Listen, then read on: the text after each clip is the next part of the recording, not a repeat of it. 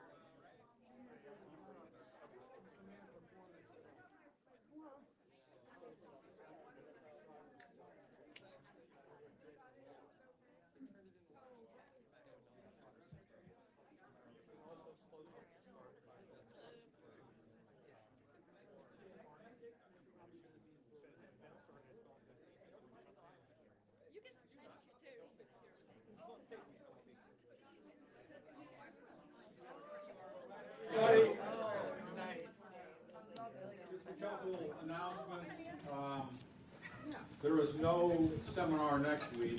Uh, It's Veterans Day and whenever we have um, days off, we generally don't have the SSP seminar. But we will have movie night, is that correct, right? I believe that's correct, yes. What movie are we showing? Uh, we are showing Valkyrie from 2008.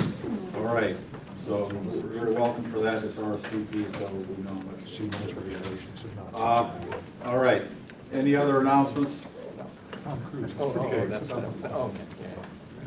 Yeah. Okay, Chris, am I on?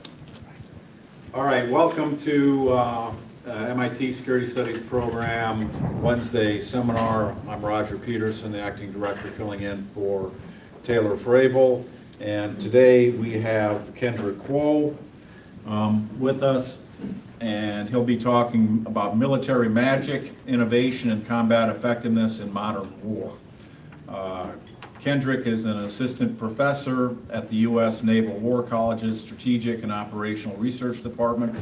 His work examines military effectiveness, military innovation, and grand strategy. He also studies identity politics and nationalism with country expertise in China. Uh, He holds a PhD in political science from George Washington University, an MA in international affairs and economics from Johns Hopkins SAIS, and a BA in international affairs and religion from the George Washington University. Great. Uh, thank you all for having me. Um, it's really exciting to be here. Uh, I've rubbed shoulders with SSP uh, alums and students for a long time, so it's nice to be here in the mothership. Um, and what I'm going to do today is kind of talk a little bit about an ongoing book project I have that really looks at the relationship between peacetime innovation its impact on wartime effectiveness. And uh, the usual caveat applies here that my views expressed here don't necessarily represent those of the US government or any of its components. And so there's debate going on, many debates actually, about the role of emerging technologies, uh, some of which are here on the screen, and how they may impact the future of warfare, right? So uh, militaries typically are assumed that if they, uh, they embrace innovation, they're more likely to reap victories, whereas those that resist innovation and are too conservative are more likely to reap defeats. And so the story goes that the character of warfare is always changing, and it is constantly threatened to render our existing capabilities obsolete.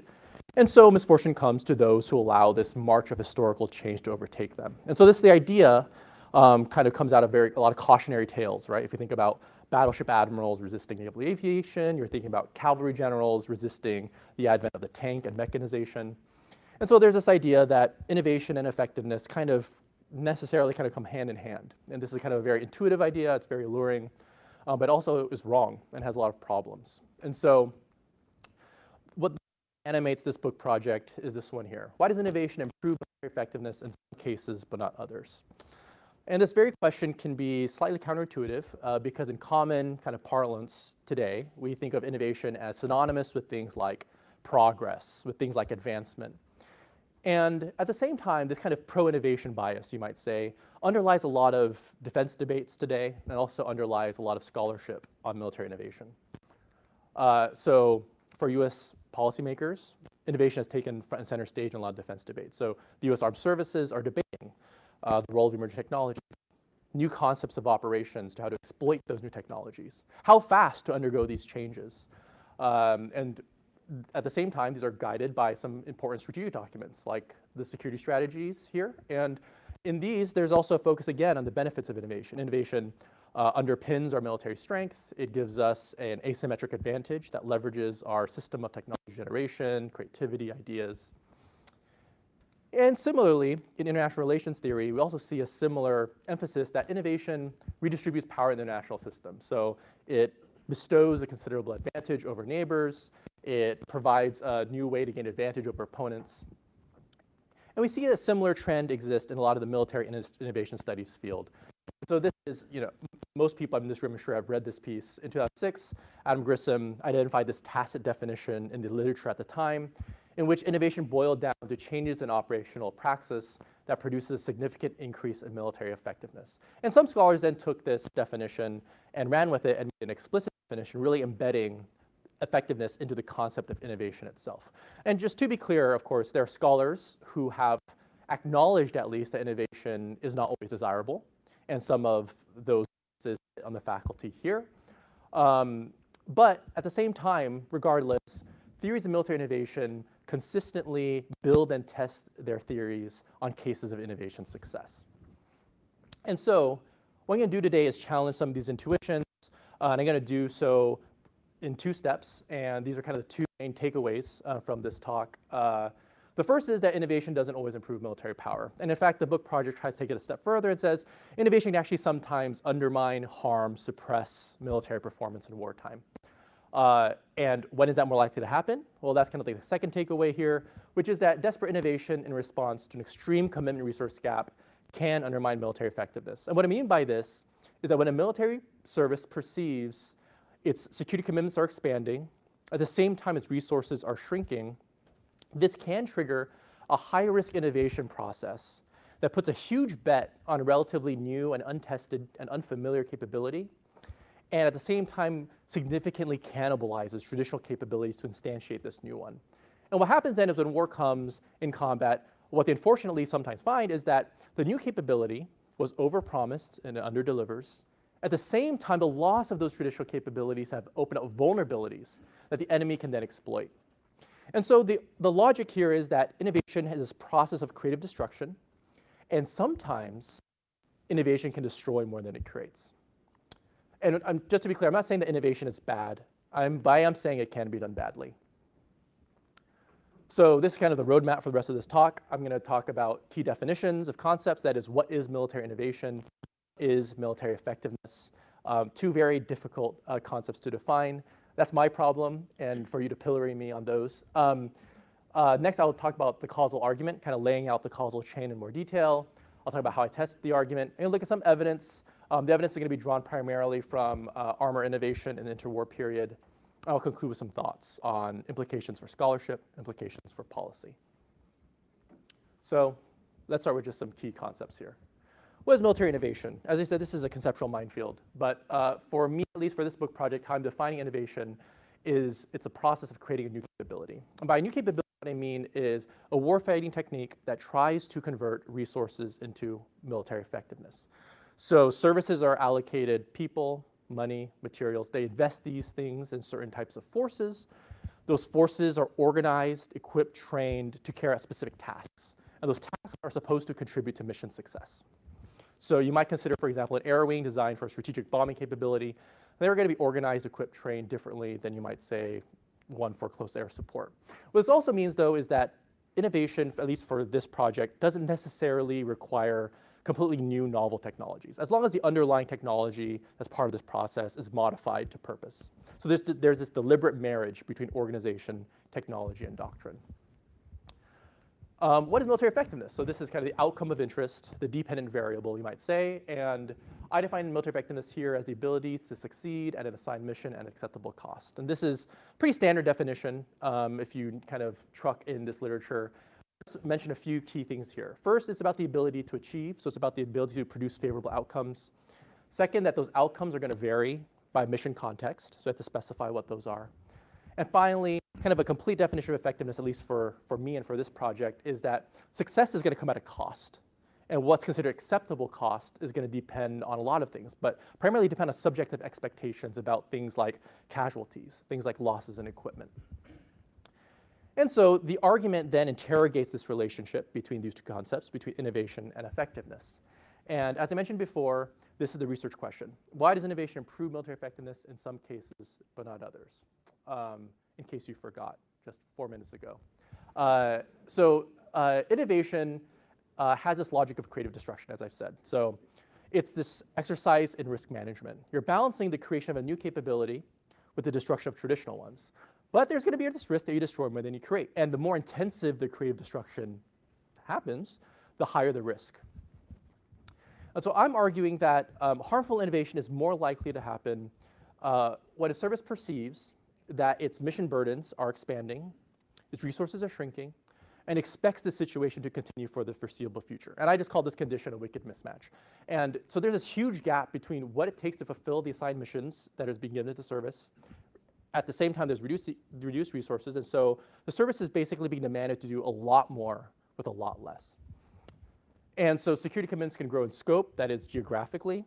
That could be also in terms of um, the number of priority mission objectives. Uh, they can increase in intensity. That is, it becomes harder and harder to achieve the mission objectives. That's because of things like adversaries pursuing military buildups. That could be because a diversified threat portfolio. And also there's a temporal aspect to this too, right? So commitments grow as war becomes, or seems at least, more and more imminent. Right? Because, you know, a series of diplomatic crises, et cetera. Same time resources can decline. It's pretty simple. Fiscal austerity measures, downward pressures on the budget. Uh, there could be reduced qualified personnel in the service because of things like demobilization, retrenchment, even just the general economics of the labor market. And so certain, certain commitment resource gaps are you know, relatively narrow and they kind of generate risk, but those risks are acceptable, they're calculable. But commitment resource gaps can grow to a size in which those risks actually become very unacceptable to the service. They can trigger desperate measures. Um, and just to be clear, um, a commitment resource gap that is an extreme in size can of course be driven purely just by security commitments growing or purely just by resources shrinking. Uh, but because the actual size of a commitment resource gap is arguably, and I just believe it's like almost impossible to measure that precisely, what I've done is really look at wicked mismatches as an instance of a clear extreme gap between commitments and resources. And so then this can trigger a lot of desperation in the service and for a number of interrelated crises, right? So First, bureaucratically, the service is worried it's losing relevance, status, autonomy. Uh, professionally, the service is worried that uh, it can't fulfill its duty to defend the national interest.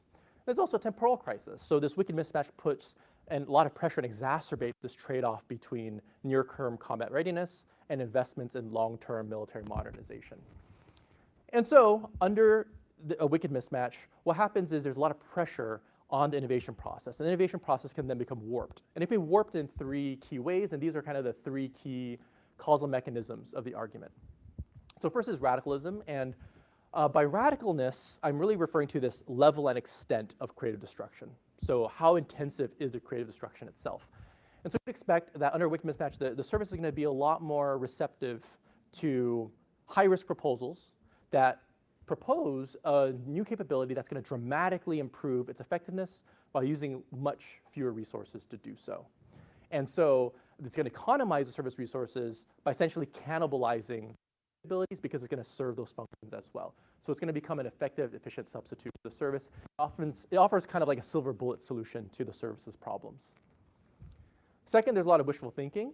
Um, and so during uh, testing, experimenting, developing of the new capability, skeptics are going to come up and say, okay, well, there's a couple of problems here. There's um, maybe the underlying technology is premature. Maybe political constraints are going to preclude its future use. Or maybe enemy countermeasures are going to significantly neutralize or even negate its ability to impact the battle space in the future. These are downplayed. Meanwhile, the critics are also worried, you know, we're losing a lot of traditional capabilities. That's going to op open up these vulnerabilities. What are we going to do about that? But again, the new capability is a panacea, right? It's going to plug those gaps. And so um, data that's coming out of these experiments, though by nature somewhat unreliable because of peacetime uh, experimentation, they're going to be interpreted really liberally in favor of the new capability. And finally, um, the, the development process is going to be rushed. And a part of this is an acceleration of time issue.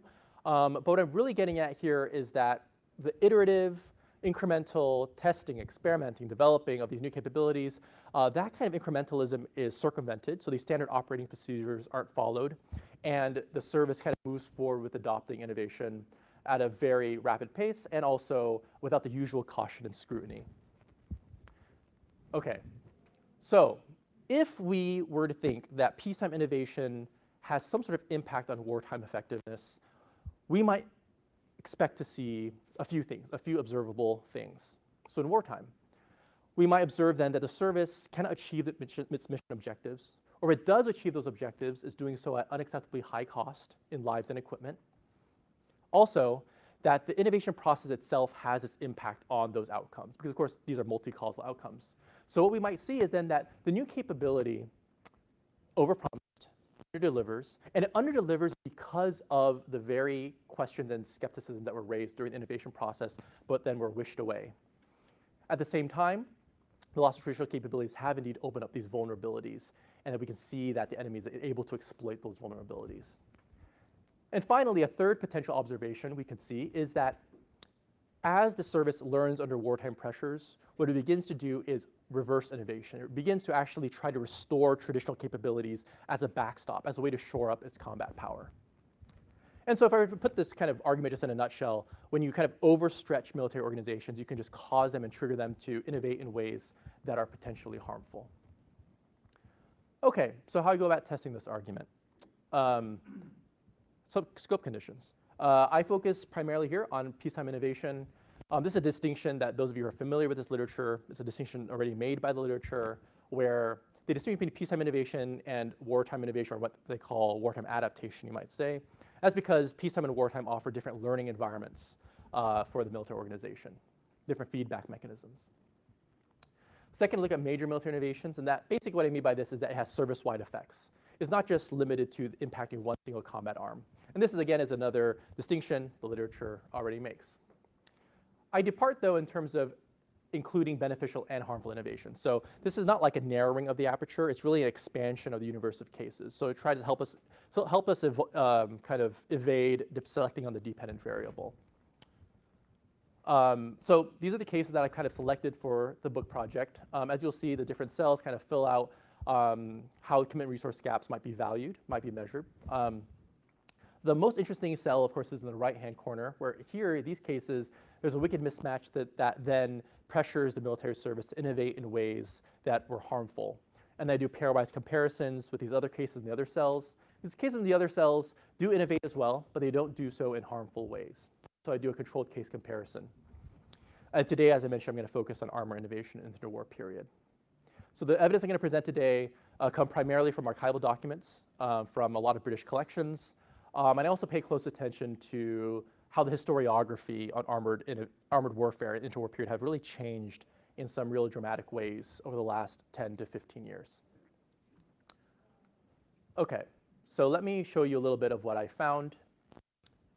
Tale of Two Armies. I want you to kind of wind back time and think about the eve of World War II. So in the eve of World War II, there's two armies. The first army, highly radical, highly mechanized. What they do is they field all tank brigades that they expect to leverage high mobility and therefore impose strategic paralysis on the enemy.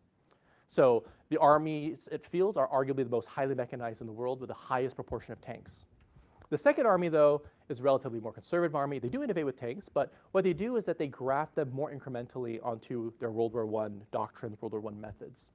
And the army it fields is actually comprised predominantly of infantry divisions that are actually carried on horse and on foot. It may be surprising to learn that the first army is actually the British Army, um, who you know innovated very radically, um, and at the same time, though, were known for some dramatic defeats. Whereas the more relatively more conservative army was the German one. Both armies innovated to armored warfare, but the British Army embraced this radical form of armor innovation that ultimately proved self-defeating. So, what happened? Well, at the end of World War I, the British Army is facing this very stark and evident wicked mismatch. So, the Army has continental obligations in Europe after Britain signs the Locarno Treaty to guarantee the common borders between Belgium, France, and Germany. At the same time, the British Army, the British Empire has actually expanded. It's expanded to actually its territorial peak in its entire history. It now covers a quarter of the globe, and the army is expected to police this empire. And there's also internal security problems. So the British Army has to keep track of Irish rebellion potentially, industrial unrest, even potential revolution at home.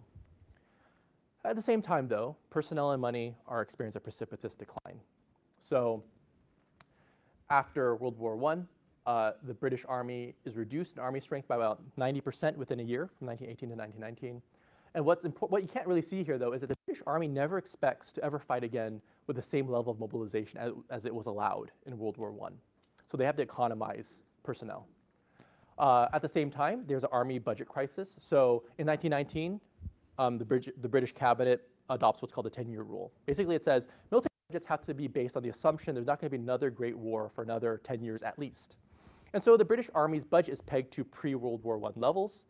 But because of inflation, actually, uh, the British Army's budget is actually less than, in real value, pre-World War I levels. As you can see here, Army rearmament doesn't really begin until 1939, which is months before World War II begins. So what does the Army make of this problem?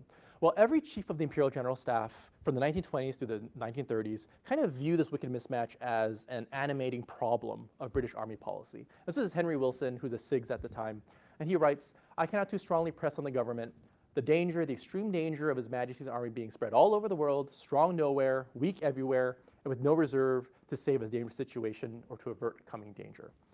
And so we have this army crisis. We have this wicked mismatch. And so enter the promise then of innovation. So these figures here are the key um, armor innovators of this period. And what theory expects is that uh, the army is going to be very receptive to this idea of a new capability that promises to be more effective, more efficient, and therefore a superior substitute for traditional capabilities. And that's what they offer here. And they offer something that I call armored maneuver. And the idea behind armored maneuver is that a formation comprised almost entirely of tanks and set free from unarmored troops can maneuver with impunity on the future battlefield and land this decisive blow against the enemy. So Liddell Hart and Fuller on the left are the key theorists and publicists of this idea, and the remaining figures here are the um, key implementers in the British Army. I just want to note here that a lot of people have mentioned to me that Frederick Pile here is clearly the most innovative of these figures because um, he innovated a new way of grooming he, uh, he came up with this new capability called removing the mustache. And um, he cannibalized a lot of mustaches to get there. But I'll, I'll leave that up to you to decide if that's harmful innovation, beneficial innovation. I don't know. Um, I'll leave, you know, posterity will decide. Um, so I'm um, now kind of walk through this flawed innovation process. So J.S. Fuller's writings kind of distill a lot of the arguments being made at this time about armored maneuver.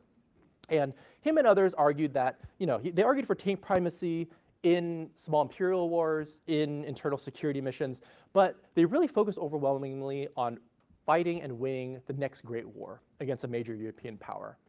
And so what they said was, in the future, armored fighting vehicles are going to be the only units capable of moving in the storm of steel, and also that the opening phase of any campaign is going to be this decisive clash of tanks. And whichever side gains tank supremacy, that side is assumed to have won the battle.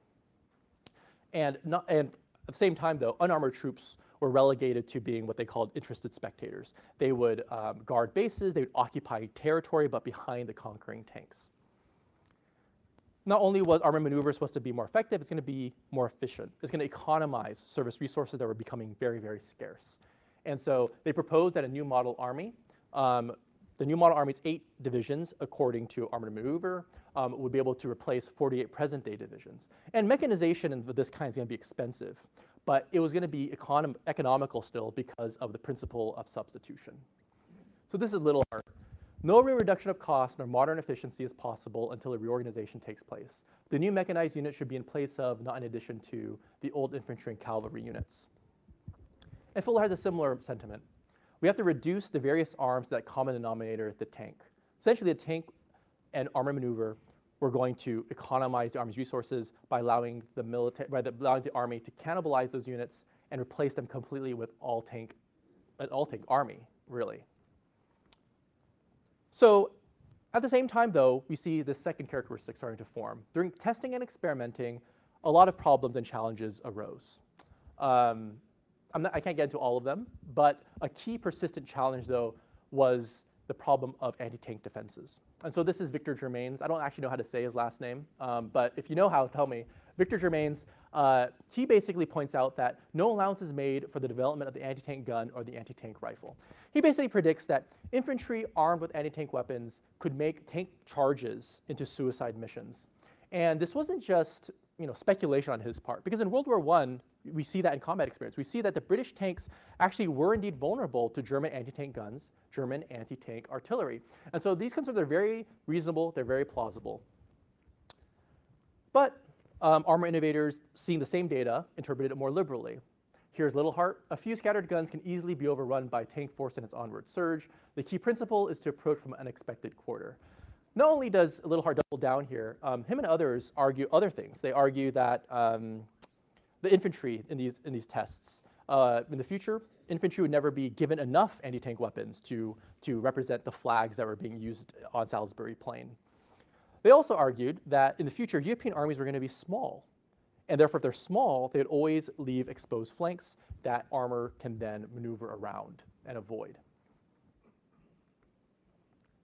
So Thirdly, the development process was, was relatively rushed. And so uh, the key experiments happened in 1927 and 1928. Um, and a few key things are worth noting about these experiments. First, the experimental forces, um, number one, were organized according to armored maneuver principles. That is, they were ex almost exclusively um, comprised of tanks. Second, during the capstone exercises, where you know forces are pitted against one another in the annual exercise, um, these experimental forces never achieved their mission objectives.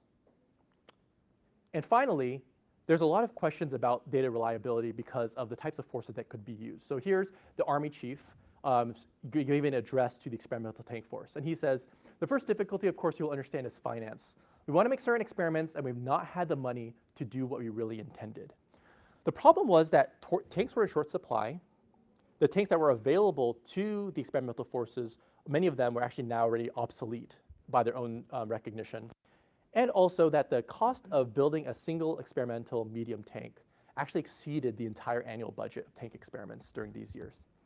And so, despite unreliable data, arguably, despite the fact that this, these experimental tank forces never achieved their mission objectives in tests and exercises, and despite the fact there were very reasonable um, countermeasures that would be fielded, the Army moves forward with codifying those lessons. So the Army chief tasks Charles Broad, who's a known armor enthusiast at this time, to codify the lessons of those experiments, and he does so in these two primers in 1929 and 1931, um, which basically codify the principles of armored maneuver. And then Charles Broad is then tasked to establish and put those into practice. He does that by establishing the first tank brigade, comprised almost entirely of tanks that's codified. Experiments for two years, it's permanently established again. Very little change in the composition and the types of maneuvers it's expected to do. Um, as the British then construct their armored division, um, things get even more tank heavy over time. So the first, the, there's two things worth noting about this table. First, of course, is the tank brigade. It's the main fighting component of the armored division, and it remains unchanged. Basically, it is the main um, decisive arm. Uh, at the same time, though, if you look at this column here, what happens at, at the eve of World War II is that the cavalry are entirely um, in light tanks at this point. So there's a lot of tanks going on in this division. And at the same time, infantry and, and artillery are consistently shrunk and reduced in size. And so on the eve of World War II, what we see is that the British Army is actually, arguably, yes, the most highly mechanized in the world with the highest proportion of tanks. And this also does not account for the fact that there are infantry tanks as well that are accompanying the infantry divisions. So there's a lot of tanks in the British Army. And it's with these armored divisions that the British Army decides to fight the Desert War. And what you see here in the theater of war is that uh, you have British Commonwealth forces on one side, you have Italian and Germans on the other, and you can see it's kind of seesaws back and forth across the Libyan desert for about three years. What we see, though, is that the British Army consistently fails to achieve mission objectives at acceptable cost until about late 1942. So in the first phase, uh, what you see is uh, the British Army performs very poorly. In the one case in which it does actually achieve its mission objectives, in Operation Crusader, uh, it does so at acceptably high cost in lives and equipment, and the German counterparts aren't that displeased with the result, actually. But in the second phase, you start seeing certain things start to change. You start seeing the British Eighth Army being able to achieve mission objectives at acceptable cost. And what's happening? Well, I'm basically going to make the argument that in the first phase, what's happening is that armor maneuver is failing to provide what it promises, and the lost traditional capabilities have left it exposed. And as it's learning in wartime environments, what's happening is it's slowly restoring traditional capabilities that they learned on the Western Front, but they had lost in the interwar period. Uh, typically, I would just move on and just, you know, paint broad brushstrokes, but since I'm at SSP, I know all of you love the tactics and love the operations. Um, I'm going to just talk about two operations, kind of just briefly. I'll talk about Operation Battle Axe as representative of that first phase, and I'll talk about Second Alamein as representative of the second phase. So historians treat Battle Axe as really like the first real test of British armored warfare. Um, not only are British tanks here in healthy numbers, it's also their first clash with German panzer troops, veteran German panzer troops. And they had three key objectives. So first, the British Armored Division is going to attack Hafid Ridge, where it expects to find the German panzers. It's going to destroy those panzers, and this is the decisive phase of the operation. After the panzers are destroyed, they're going to make quick work of the remaining unarmored troops.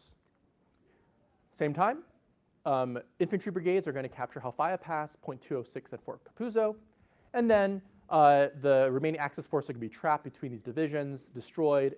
The rest of the British forces are going to move north, and they're going to relieve Tobruk, which is this critical supply port, but held by the British, but actually under siege at the time.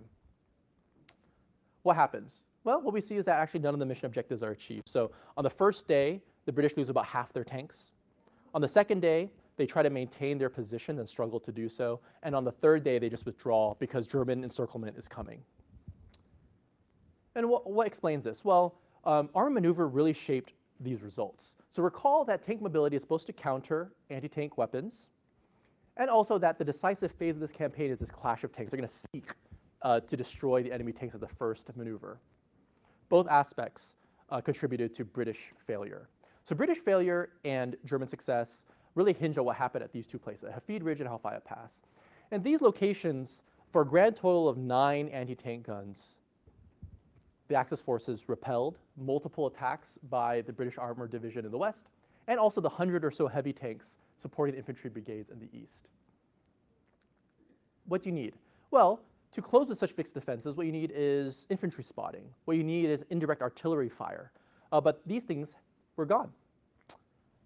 Now, um, the, a third observable implication, as I mentioned, was that the British Army is going to try to restore traditional capabilities in hopes of shoring up its combat power. And we do start seeing this happen after Battle Axe. There's some fits and starts, there's some dead ends. Um, but what we do see is that by fighting around El Alamein in 1942, the, the British Army really has started to restore a lot of the British Expeditionary Force expertise that had lost. So first, what we start seeing is a rebalancing in armored divisions. We start seeing the increase of tank infantry components relative to the tank components.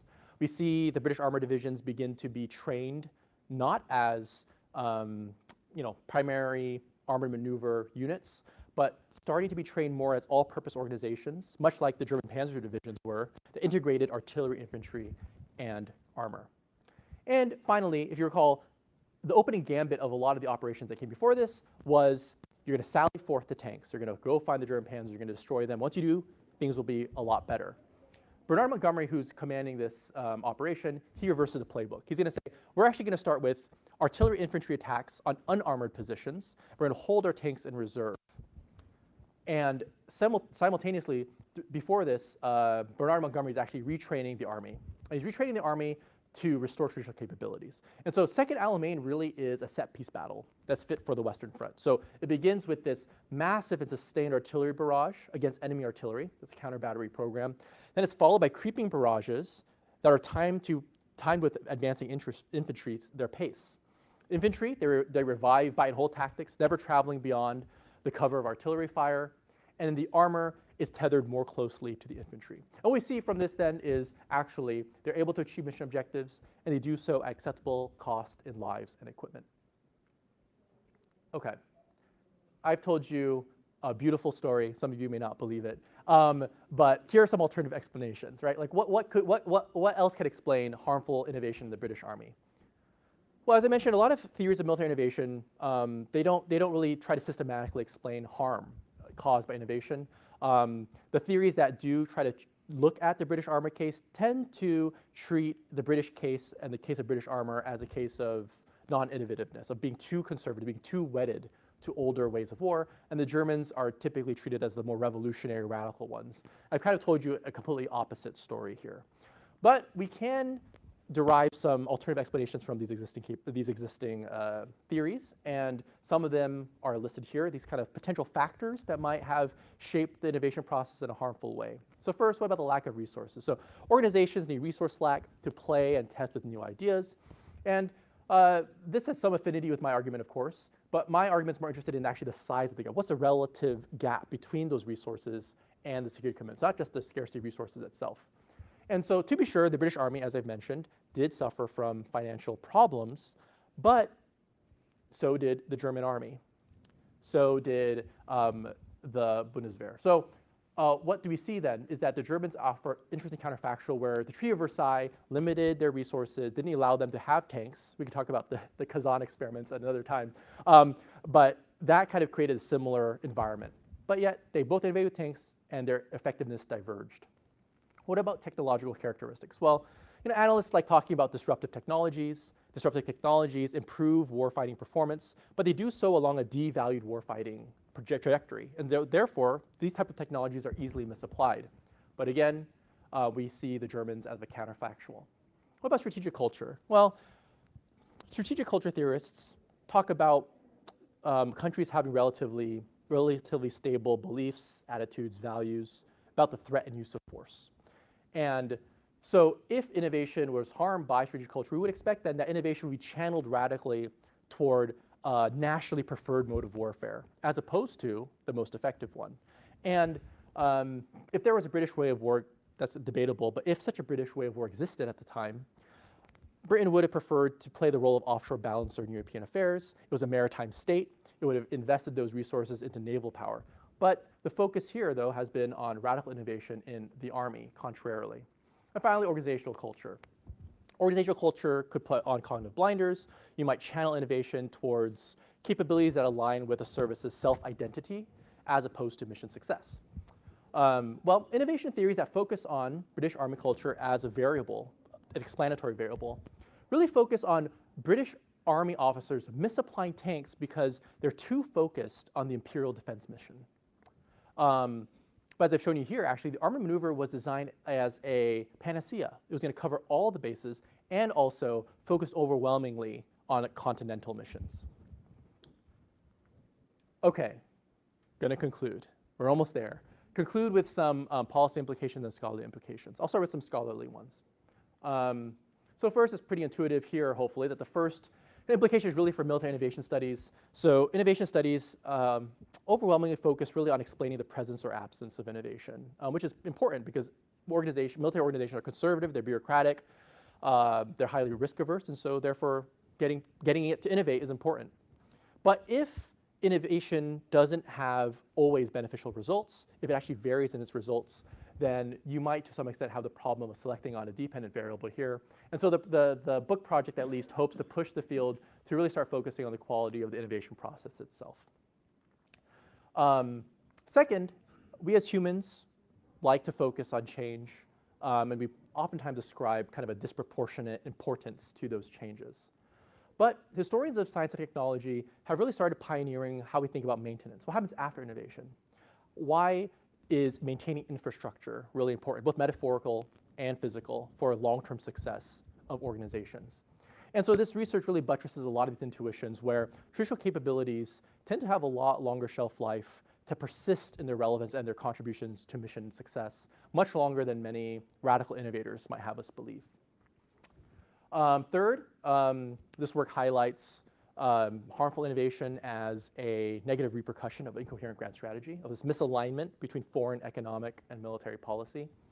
And also suggests potentially that innovation can create an illusion, an illusion that a grand strategy is effective and it's sustainable. And so it might create, um, uh, it might obscure, you might say, misalignments, or might make mis these misalignments seem like they're easily realigned by a silver bullet panacea solution. And finally, um, historians of military innovation um, do have this tendency to treat innovators as kind of heroes and the conservatives, or you might call them maintainers, as kind of the villains. Once we inject a lot of risk calculation, a lot of nuance into these stories, um, what we see is kind of emerging is really not like a Marvel movie um, of like, you know, good guys and bad guys, but really something that's actually hard to tell who, who's right, who's wrong. And a lot of that might actually have to do with the fact that the character of war changes potentially much slower than military futurists acknowledge. Policy implications. We have to talk about China, of course. And so, um, and I'm scared because I see a lot of China experts here. Uh, so uh, what does this have to say about um, the military competition between the United States and the People's Republic of China?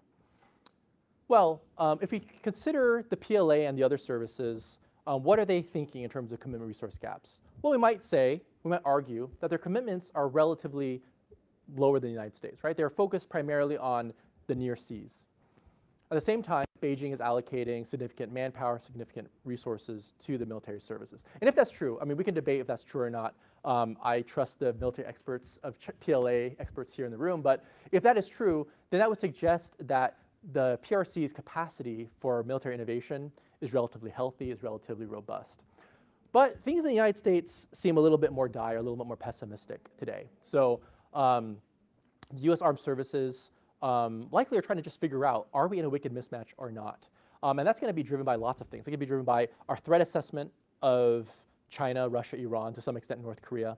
It's going to be driven by um, beliefs about trend lines, beliefs about the defense budget, beliefs about recruitment levels, um, which seems stagnant at the time, right now. And regardless, though, what we do hear coming out of the military services is a lot of dramatic language about innovation, a lot of uh, lip service being paid to how the military needs to embrace radical forms and re completely rewire the way we fight wars. And the book project essentially will urge caution. Basically says, instead of radical innovation, consider, for example, what incremental innovation might actually look like. What would it look like in our testing and experimentation to really focus on potential political constraints on these new capabilities, um, potential enemy countermeasures, and also what is the actual maturity of the underlying technologies we're dealing with here, and are they even ready for scaling? And also finally, um, it would suggest that we should really prolong the experimentation process as long as possible um, before we rush into um, production and scale. Um, that is all I have for you.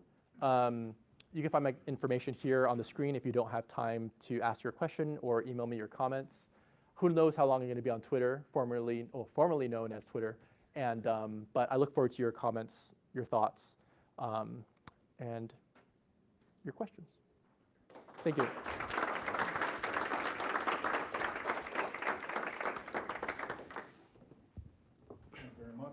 Paul, so I'll just start here and take a few. So let's go Erik Lin-Greenberg first. Yeah, go ahead. Awesome. Uh, Kendrick, thanks so much for this talk. So, so I think I largely buy what you described as I think your, your beautiful story. Um, but was wondering if you could maybe talk just a little bit more about this, this rush development mechanism, right? You're, you're giving us this story about peacetime innovation. Um, there seems to be enough time that there could be something other than rush development. So why do we see rush development, right? In the case that you walked through today, some of that development starts in the 1920s when you know, the, the eve of World War II is, is still far, far away. So why do we see this kind of rush development process as opposed to having folks say, hey, go back to the drawing board and experiment a little bit more? Or can you collect multiple, or just No, we'll do, it? we'll do single Oh, great, that's easier, okay. Um, In the, so rush development, in the British case at least, um, in the 1920s, we actually already start seeing a lot of imperial unrest. So it's not just the fact that they're worried about this future continental war.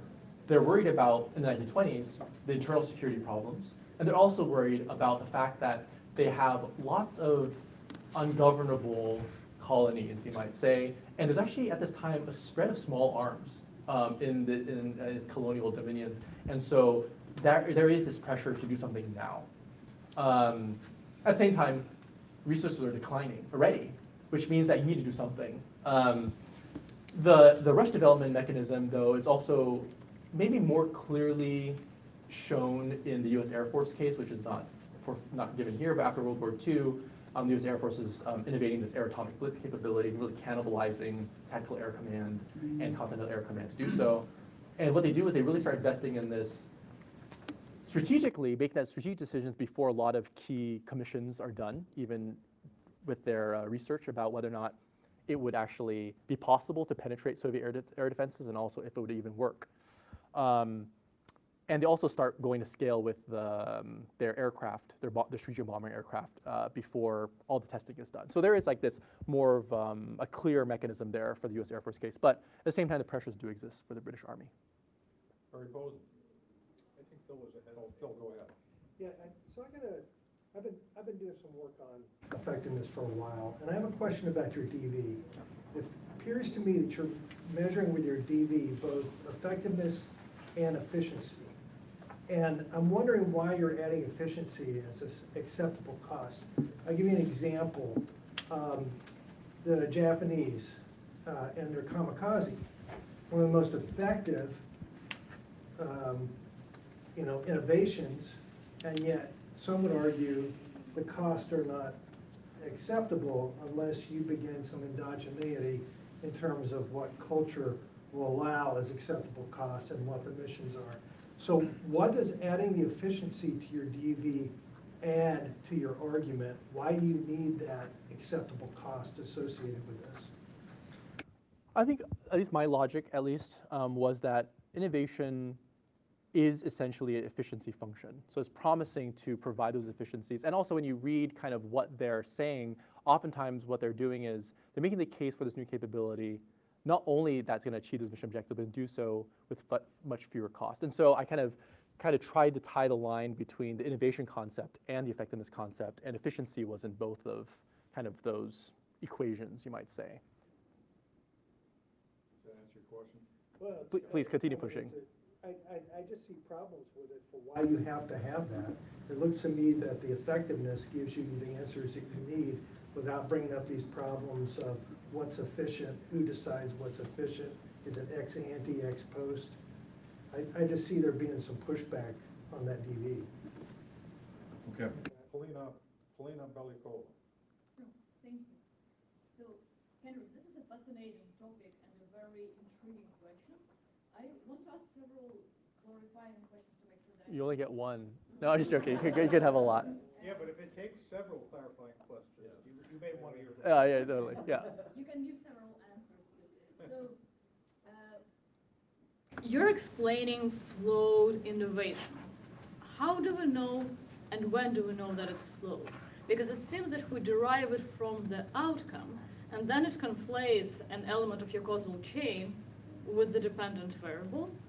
And, and also your theory seems to explain the flowed process of innovation. So it's like difference between process rationality and outcome rationality is the same. I- i- Is the flowed innovation flowed by the process or by the outcome.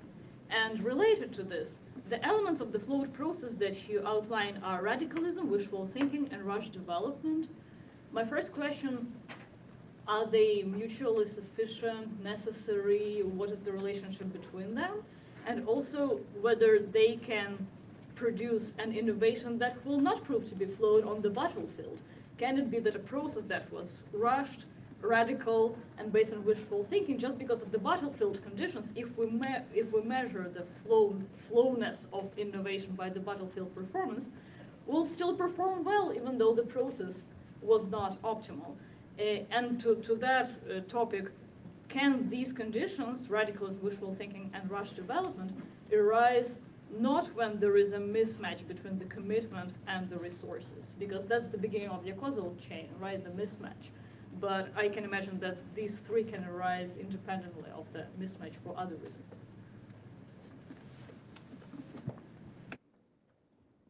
So maybe it was one question. No, I, there's a lot of. Uh, I, I will of um, cherry pick among the easier ones. No, um, um, how do we know when or how do we know it's flawed? And I kind of kind of put like a stake on using kind of an outcomes kind of approach to seeing that.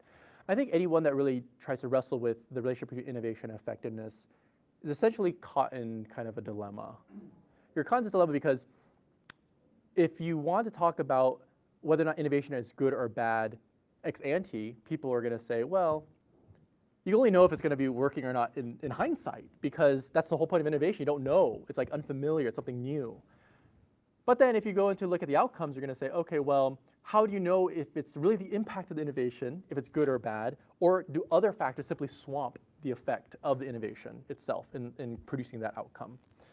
Um, and both are just it's kind of like you're damned if you do and you're damned if you don't in some senses. And so what I've basically tried to do is, what I didn't really show here is like, although I'm staking a claim on this outcome um, kind of approach to effectiveness, what I try to do is identify lots of factors that should, that, that could play a role in those outcomes and to try to, try to tease out, once you account for those factors, what remaining causal impact can be had and try to trace that impact of the innovation process in peacetime, how it impacted things in wartime. So you might say, for example, in these cases, um, in the Desert War, the British Army, for example, is uh, consistently preponderant in numbers, in both tanks and in terms of personnel.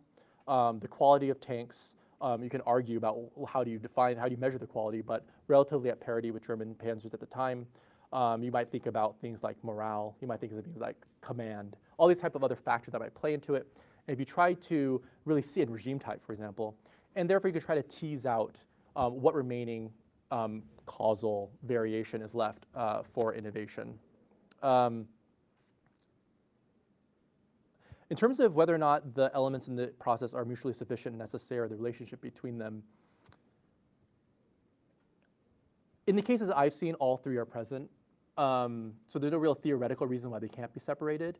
Uh, although I would note that in your final question, though, about whether can the three key causal mechanisms arise because there's a mismatch between commitments and resources, I think yes in some cases and no in others. So you might think of, for example, it would be surprising to um, see a highly, well, the standard wisdom being that military organizations are highly routinized, prefer stability, um, that they are conservative, you might expect then to see radicalism to be re relatively rare, that you wouldn't really see um, an organization like a whole military service willing to undertake such radical reforms unless something's really happening here, some really external pressures are going on. Whereas wishful thinking, you see it everywhere sometimes to some extent. Um, in both directions, you might even say, right? That traditional capabilities are still relevant um, despite maybe countervailing facts. Okay. Okay. Uh, Before we take a couple more questions, I just want to add another case to help generate sort of thoughts about your theory.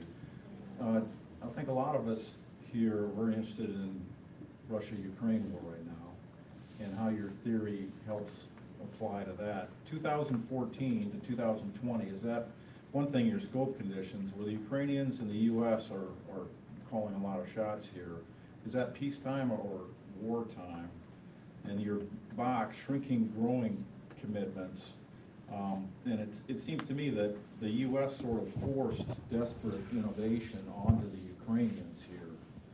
uh, As far as, you- but your terms, desperate innovation, um, the, the the peacetime scope conditions, uh, the, the level of, of, of commitments, because your theory uh, makes some sense there, because it seems that that this has been a, a big innovation of a major European force now, the Ukrainians, and it, it didn't seem to amount to much. Is this a, a case in your favor when you think about it? Is it an unclear case? Is it not fit your scope conditions? But can we add this into your, your sort of analysis?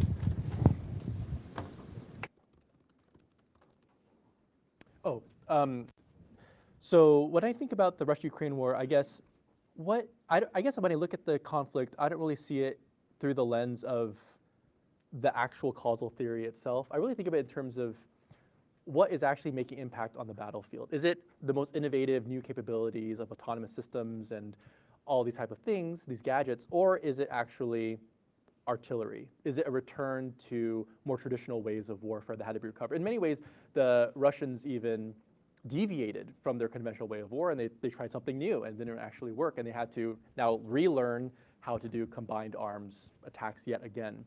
And so it seems like it, if it's the causal story, it actually fall more into the latter end of it, of the restoration aspect of it, of restoring traditional capabilities. Um, But from the Ukrainian-US side, it seems that your mechanisms, there, there was a pretty radical transformation of Ukrainian fighting.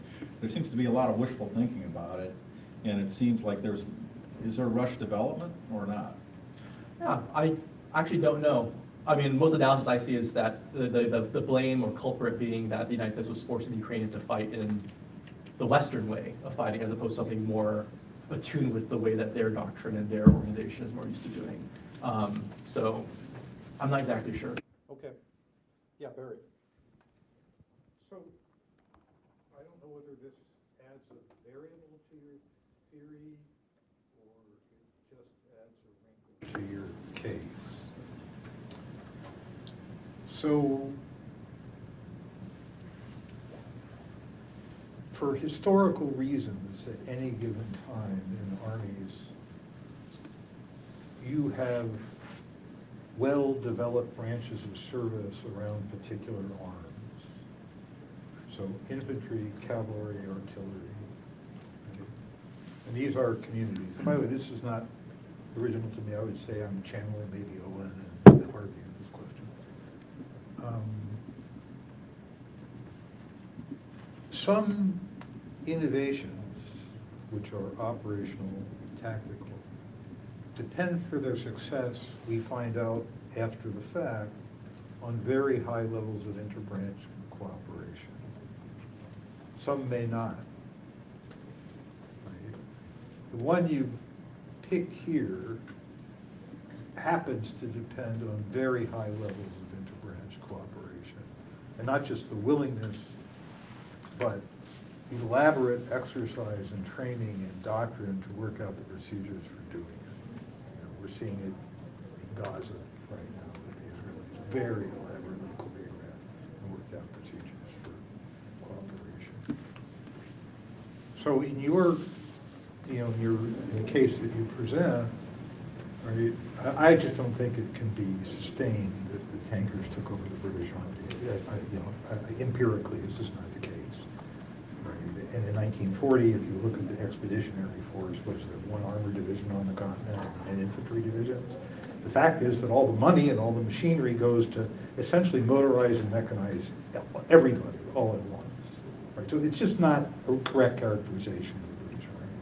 It may be a correct characterization of what happened in North Africa, which is an interesting historical question, right, and says something about the British Army. So what you're pointing to is that within the thing that's created, the armored division, right, branch cooperation is really kind of lousy. And this is true across Europe at that time. The only country that masters this is the Germans. Everybody does it incrementally, and even though the US comes into the war late, we have the same problem. Right? So I'm returning to whether the question, you know, it's an interesting historical question we're talking about here, But whether there's a, a, a- a theoretical question that you- that is, in- that's buried in your analysis, and that's the question of what's the existing cultural makeup of the different branches of service in any given organization, right? And how much does the thing that's being proposed ultimately depend on its success for cooperation across these branches, which is a hard thing to organize ex ante.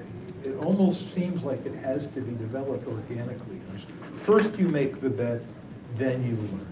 So I said a lot there, but any reactions you might have to that, I'm sure those observations. Uh, I think there's a, um, I think it is true, yes, that the tankers didn't overtake the entire British Army. But I would say that the British Army, as you mentioned, had a overwhelming kind of enamorment with mechanization. That it was a, a solution to their uh, concerns about relitigating World War One and its ability to fight with so much bloodshed yet again. Um, and so it seemed like, at least in my reading of like the army journals and stuff, that it was not that they were allergic to mechanization at all, right? It was mainly what's the pace, how fast should we actually end up mechanizing, how fast should we actually start taking on these new technologies. Um, on the question of, of interbranch cultural makeup, um, I think the historiography, at least on the British Army, in terms of whether or not the inability to coordinate between the different combat arms was a cultural issue, um, is live and up for debate. How how professionalized were was the British Armor, uh, Army Corps at the time, and also how much of that professionalization break down those barriers between those uh, cultural firewalls between the different um, units.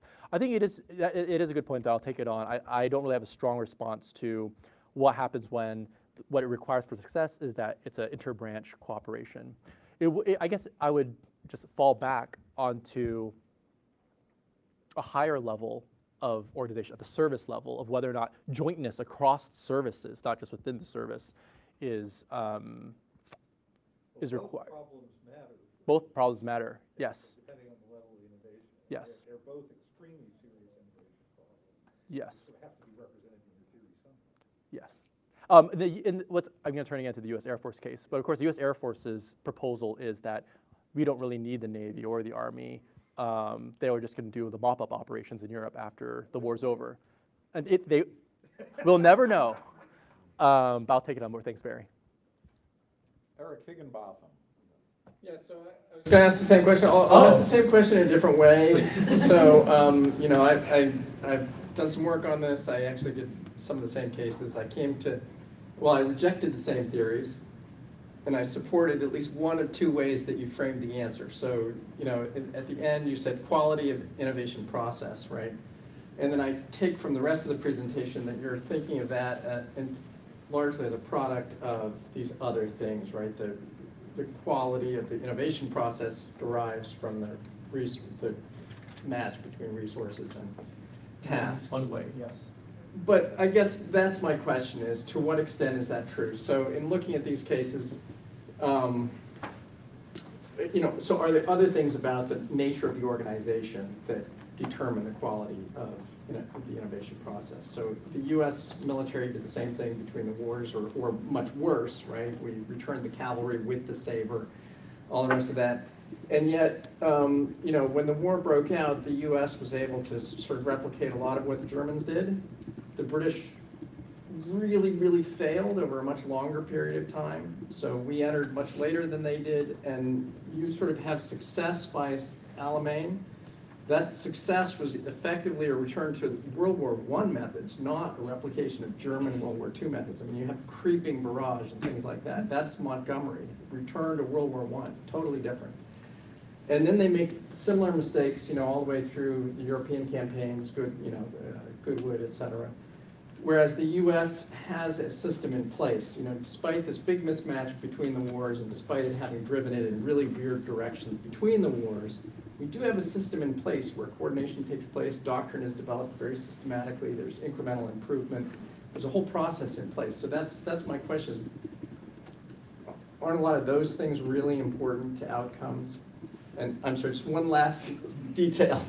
So in the, in the British case, there are sort of really patent examples. So Barry talked about the difficulty of coordinating, um, you know, the, the different arms within a division. The divisions really were just collections of battalions. So if you look at what they did in, in the desert, when they pulled the division back to rest, each battalion went to a regimental cantonment to train and re- refit and re-equip. They didn't train together, and that's completely unlike what the US military did. They took their divisions out, sent them back to training locations, tested new doctrine, et cetera. So anyways, that's long, I apologize, but, but same sort of question about the quality of innovation and, and processes. You've run into a buzzsaw of people with World War II obsessive And, compulsion. no, no, that's what I was scared to present here. I was like, oh my god, everyone's gonna know this case. Um, uh, how would you kind of conceptualize what is that what is that stuff in the organization? You mentioned core, like internal mechanisms for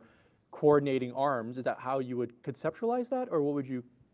So I think it, so I I think it requires strong top-down organization, it requires a doctrine. So in a lot of ways, this confirms parts of your story, right, about innovation itself not being the answer, right? It really has to do with systems and systems of systems.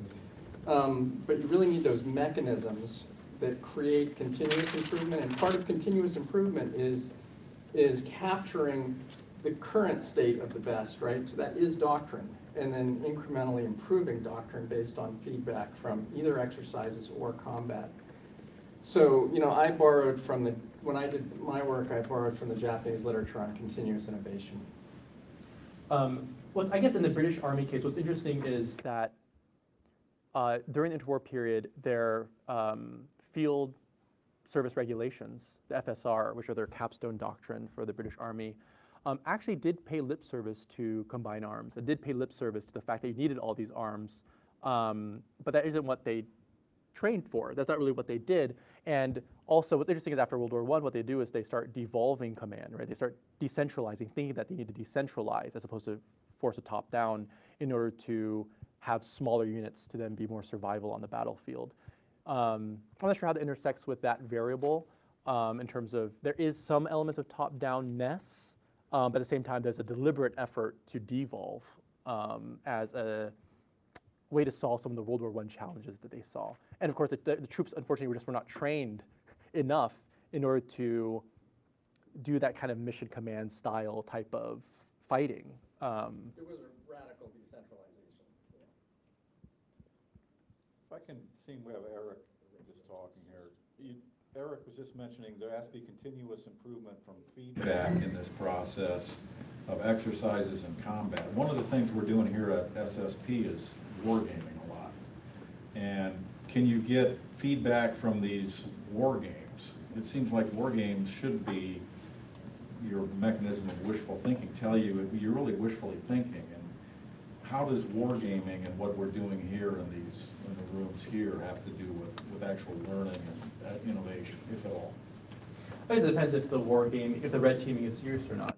It depends if whether or not the war game is actually um, sincerely trying to distill certain enemy countermeasures that they might be taking, how much leeway and creativity the red team is using, or how much is the war game really just being there as a rubber stamp to um, endorse uh, general's favored concept of operations.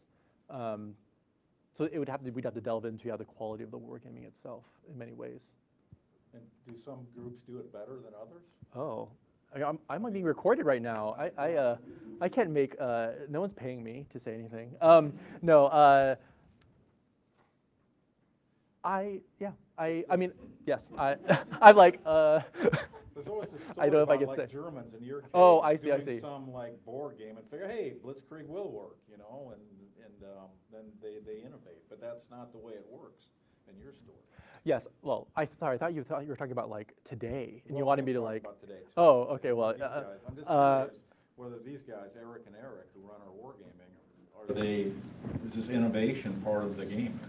I think part of the issue, issue for, at least in some of the rushed innovation, rushed development processes, is that you might have one war game or two, but it's not iterative, right? You just move forward. You kind of, see, you kind of get what you need out of the war game, and you move forward with the innovation process itself, instead of having it iteratively done in multiple different types of settings, different stakeholders, et cetera. So it's about the distribution and variation of the war games themselves. All right, talking about war gamers, Ben. Sure. Um, as someone who cares about uh, the case a lot and wargaming, I won't ask any questions on those subjects. Uh, and instead, I'm really curious about an element of your theory and how you define military effectiveness. So, like in the case, as, as Phil was talking about, you define military effectiveness as achieving military operations at an acceptable cost. Um, but in the dyad between competing states who are both innovating, it seems like it's impossible for both to achieve their military objectives if they're in conflict with each other, which seems to lead to like a deterministic outcome that two states that compete with each other cannot both be effective at military innovation. And this seems, in my mind, a little overly deterministic, like you can make all the right innovation decisions and still lose. And so I'm curious about how you can operationalize a definition of military effectiveness that doesn't then fall back on the competition between two states and can be um, uh, measured independently. Oh my God, I feel like I'm back in grad school. Um, so many methodological questions. Uh, um, I guess I'll have to think about that a little bit more. I don't necessarily, at least my gut says that's not necessarily true that in a, at a two-sided like a conflict at a battle that only one side can achieve mission objective. They're, per, they're, they're determined for themselves mission objectives. I don't know if that's necessarily true depending on how you define those objectives and how, how d- down a tactical level you get. So I'm not entirely, I, I'm, I'm scared that Barry is smiling and, and smirking in a scary way, but I'm not really sure. Uh, I'm, not, I'm not sure if I buy it, but we could talk more. I don't really know if I buy it. Okay. Charlie, you have a two-finger on this? Go ahead. Yeah, this and also related to the earlier question about how you, you know, the counterfactual. Um, Well, it does seem like, in a way, effectiveness should be like given your, you know, given your resources, have you done as well as you can against the threat, which might not be success. But you could have done worse if you didn't innovate properly. Um, and so looking at that, you know, looking at it in terms of success, I think is really, it strikes me as problematic. I think it- it's, it's way better to look at the, the causal, the links in potential that could lead to failure than to look at the outcomes because it's, it is related to both sides can't win, but it's also related to, you know, you might have done as well as you could um, and lost badly or something like that, and you might have innovated effectively. But then that, that raises a similar issue about your mechanisms, which is if you're in this sort of wicked mismatch, maybe what you need, need to do is rush and, um, and sort of cannibalize your existing force. Because maybe that's the only way, maybe that's what you have to do to have your best chance of doing reasonably well.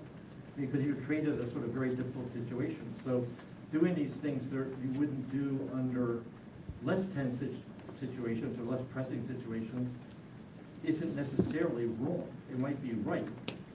And, and you might still do poorly. And then, so it's just, um, I mean, I know it's not really resolvable, but it seems like you've skirted over it in both directions, at the outcome side and the mechanism side, what you want to count as flawed. I think on the, the latter part of what you said, Charlie, um, in terms of, it essentially kind of boils down to like, what else is one to do, right? Like, you already put me in a difficult bind, and what other choice do I have but to innovate in this maybe suboptimal way, but it's hyper rational to do so, to make this bet because I have no other choice. Um,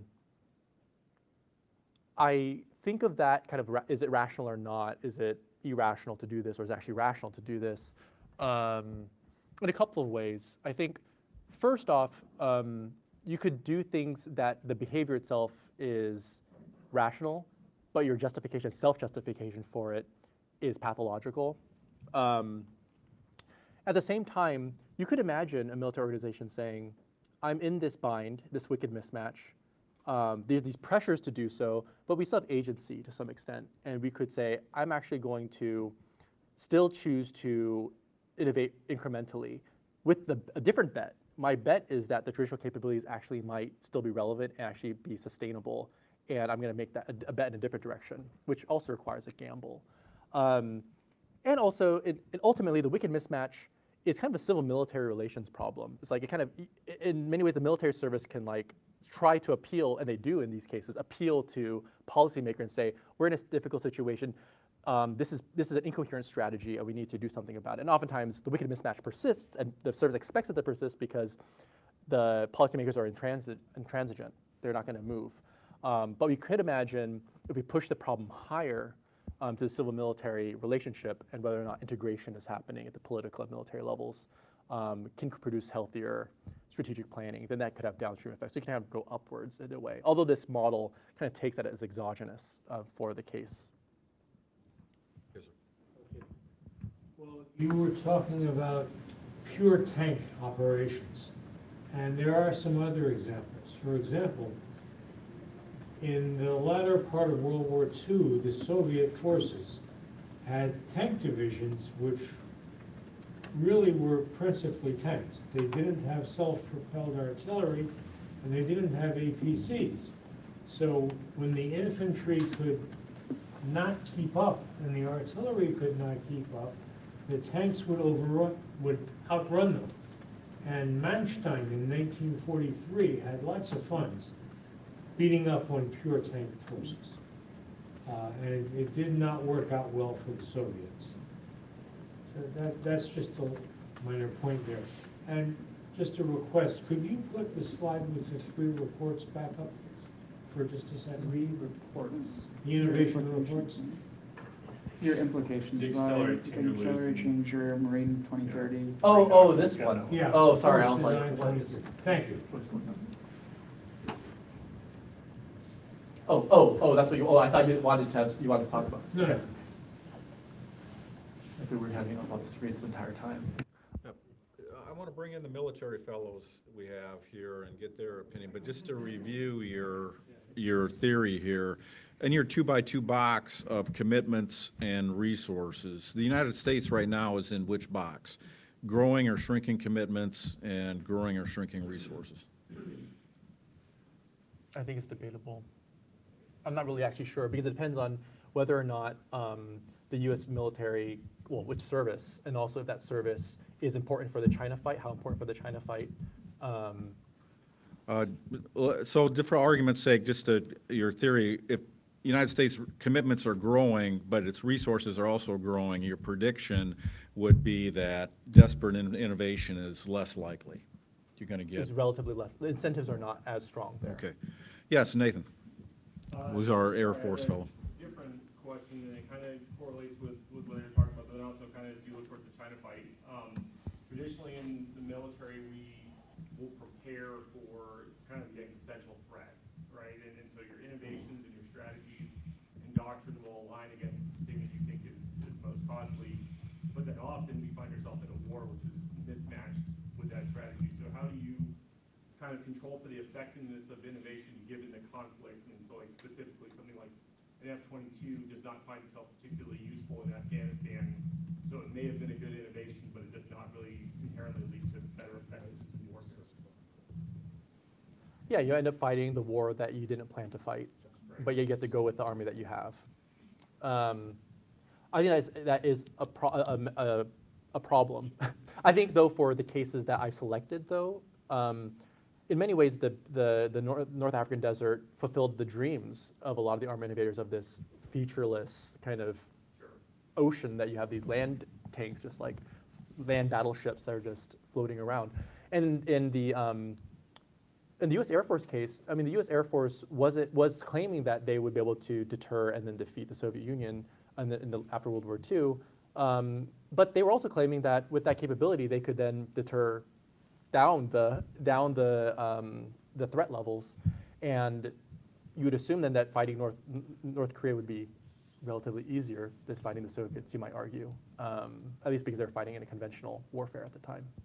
So I think the cases that I've selected try to push back against that, but that, that idea definitely does make sense, that you could, you could end up, your innovation might be wrongly tailored for the wrong conflict. That then is a civil military integration problem of whether or not we were properly preparing for the fights that we were gonna fight. Do any of the other military fellows, just, then I'll, I'll jump to general questions again, have any um, examples that affirm or go against the theory you heard here today? Well, I mean, we're kind of stuck in a, so I came from the A5, the Air Force A5, where we were trying to build the Air Force that we need, right? And we, we have the Air Force that we have, and the Air Force we need is, is more tailored to a China fight. But now, as we watch, you know, Ukraine, we watch uh, Israel, um, are we going to be, how do you make the trade-off of, at, at some juncture, there, there, there aren't more, there's not more money to just dump on top. And so you, you have to do something, you have to divest of something, you have to make trade space. So how would you go about doing that in, in this period of time where you still have requirements all around the world, but knowing that we feel like there's a different, a fundamentally different type of warfare on the horizon? Yeah, I mean, in the cases here at least, what we typically see is that the new capability is not overly tailored, right? The new capability promises to do a lot, not just in one single theater, not just against one specific mission set, but actually is a panacea. Um, the problem of actually we do need a tailor, and we need to tailor to specific threats, is actually a good thing, I think. Uh, In terms of, it pushes back against wishful thinking that we can actually do it all with just one console operation, with just one platform, you can do everything. And so I feel like, I, I, I can't solve this problem for you, but um, I feel like the, the intuition that we can't do it actually is a good one. And if it's a widespread one, in other words, this dilemma, that's actually a positive in some sense, as opposed to the other direction of saying, actually, we can do it all. Um, whether or not the ACE concept even will work in the, in the Pacific, I don't even know if that will work or not. Um, but that is the dilemma that we actually have to tailor to some extent. And that cuts against wishful thinking, that we can't have it all. We can have our cake and eat it too. Yeah, we're not. Hi, um, so Kendrick, I have a question for you. Um, and I don't know if, if maybe in answering this, it might uh, actually address one of the points that, that Polina raised earlier about um, uh, uh, necessity and sufficiency. But so, so I, and I know what you're focused on explaining is harmful innovation, right? But, but you also have that two by two with commitments and resources, and, and you, you, you also are looking at beneficial and harmful innovation, broader universe of cases. Um, and so I guess my, my question is, could you, could you say a little more about what it takes for beneficial innovation to happen? Is it just the absence of those three mechanisms? Is it in the absence of radicalism, the absence of wishful thinking, the absence of rush development that beneficial innovation takes place? Or are there other sort of positive conditions that have to be present to, to get beneficial innovation? And, and answering that question might maybe indirectly help tease out some of the question, you know, the answers to some of the questions that you've been asked about the mechanisms that cause harmful innovation. I kind of see the wicked mismatch and the absence of a wicked mismatch. So the presence of a wicked mismatch is almost like a constraining mechanism that really forces the military to make hard choices. Um, the absence of a wicked mismatch doesn't necessarily have a positive kind of like, I'm going to push the innovation towards a good direction. This absence really just removes this, is almost like a permissive condition that allows military organizations have a higher likelihood of innovating well, but doesn't guarantee it. Um, and I think there has you have to identify other kind of causal factors that would then push the innovation process in a good direction. Whereas the absence of it is kind of just like you can. Um, and in the cases that I do look at, they're really there to like in many ways control for alternative explanations in terms of pairwise comparisons. I didn't really show up like a table of where they control.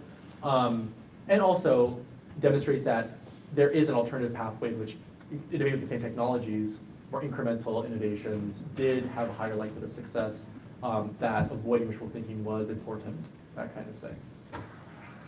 Chicago. Thank you very much. It was very interesting. Sort of uh, related to what was just uh, being said. Um, can you again sort of tell us what could the British have done differently that would have ended up in that success? So what was the, the key component of either the decision or the organizational, um, you know, being that could have made a change? And it sort of ties up to, um, we often thought that organizations are slow to change and that inertia is basically a bad thing when it needs to adapt to a new environment. But it seems to me that if there was this uh, stickiness to traditional way of war fighting, maybe it would have been better. So it, it is the news that uh, maybe what we thought was a, a downside of things really uh, could, could be some component of uh, not, not checking out with uh, some of the uh, more traditional way of fighting like infantry. Um, second question is, uh, I think there could be different kinds of need or like a demand for innovation. One could be like the resources could be either it's societal or political that, that the government is not giving enough. It could be that you find, maybe not in the case of the US or British so much, but you find that there is a big, big enemy out there uh, threatening and you really don't have much resources, so you need to do something, right? So it could be political or it could be something that is real. And, and on, but in a different way, there, it could be that the new technology is out there. We all know that it's out there and somebody's going to be successfully make use of it, right? And whoever gets to make best use of it is going to prevail. And then the competition, which is a different kind of a set of um, circumstances where military might want to innovate. And I'm, I'm, the the question is, depending on the, the kind of need, demand that pushes for innovation, do you think that would make a change in how the militaries go about it and, and also about the effectiveness of the outcome? Maybe that's not what you're but, but, but, you know, I asked that because some of the things that I hear a lot between the US-China competition seems to me that the, how to engage in these uh, technologies uh, that are there, but not really um, integrated into the military. Thank you. Yeah. Um, I think that I'll, I'll kind of jump around. Um, I think in terms of your, your kind of framing of it as a stickiness of traditional war fighting having a positive upside, I think um, that's true. I think it's something that's hard to tell if something is professional judgment that's like we're going to stick with it, or is it, you know, bias and prejudice that we're just going to be parochial and keep to what we know. And so distinguishing between if it's, you know, if it's a good or bad thing to stick with the traditional way of war um, is unclear. But I think it's true that we have natural predilection to um, criticize um, kind of any stickiness in an organization to stay with the old way of doing things. That kind of plays to the pro-innovation bias. Um, what could have the British Army done differently? It could have, it could have, um, well, in terms of the Royal Tank Corps, could have uh, forestalled codifying its lessons, waited until the 19 early 1930s, while they're still actually doing some experimentation. Um, and at the, at, by the early 1930s, you actually have more tanks available, newer tanks, more. And so as you, as you kind of wait for that 1920s decade to pass, you could have better data, you could have uh, more data uh, before codifying lessons. Um, whether or not the British Army had, or the Royal Tank Corps had the will to resist moving forward so quickly, um, it's hard to tell. Um, I think in terms of questions like um, the different types or needs and demands for innovation, that kind of feeds into the security commitments itself. Like what do those security commitments look like? Is it a growing threat? What are they doing? Are they innovating? Um, and does that, from our perception, from the services perception, does that innovation make them a more dangerous threat or not? And does that increase the mission burden that we have to face when we go to war or if we go to war? And so I would see those kind of need demand questions of innovation kind of feeding into that security commitment kind of part of the gap. Eric, you had a quick follow-up? I do, right? So in response to Chicago's question to like what the British could have done better, right? Your answer was they could have waited and pushed off kind of rush development, right? But earlier on you said, well, they, they couldn't have. There were, there were too many kind of conflicting demands and the British had to move down this pathway. So I guess then the question is, is it possible to get out of this very wicked, you know, set of wicked spiral that's caused by this wicked mismatch? Um, you know, what does this mean about time horizons that your decision makers are, are, thinking about, right? It seems like in your initial story that they're looking at this like short-term time horizon, but for a solution you need to look at this longer time horizon. And this gets back to I think Roger's point about kind of what are the actual scope conditions, right? Like are these periods of small wars actually peacetime situations in the story that you're telling? Um, I think yes. I don't think that so, it's a I don't think it's like a deterministic theory. So these pressures make it really hard. But there is an avenue you could go down. You, you got to take different types of risks. Sure but it's you have agency, and so like the policy implications are yes, services can do differently, but they still face these huge burdens in a lot of these interrelated crises. And so the question of like, are we looking at short-term time horizons or long-term time horizons? Well, in a lot of these cases, like it's both. They have they're forced by wicked mismatch to really think about how am I going to have near-term combat readiness to face maybe smaller wars or small threats, whether it be, you know, early Cold War instability crises and, oh, oh, there's a war scares going on. Or, and how we're gonna prepare for the long-term fight against the Warsaw Pact. Like, we have to do both simultaneously because of these pressures. And so it's almost like, it's part of the, the pressure cooker. But can militaries ever make that choice? Um, That aspect, You can chat about it over Yeah. here. Oh, no, I, you know, I don't We drink. we got time for one last question, which goes to Jim Walsh. I enjoyed your talk. I'm haunted by the fear that this question doesn't make any sense or is just wrong.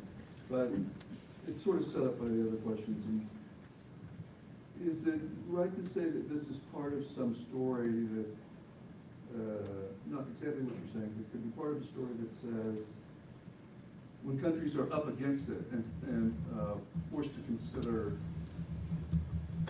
you know, innovation in the face of difficult circumstances, there's a temptation to do it poorly, but in the absence of difficult circumstances, there's no uh, push to do it. So you're not going to get it when you're not desperate, and when you aren't desperate, you're going to get it wrong.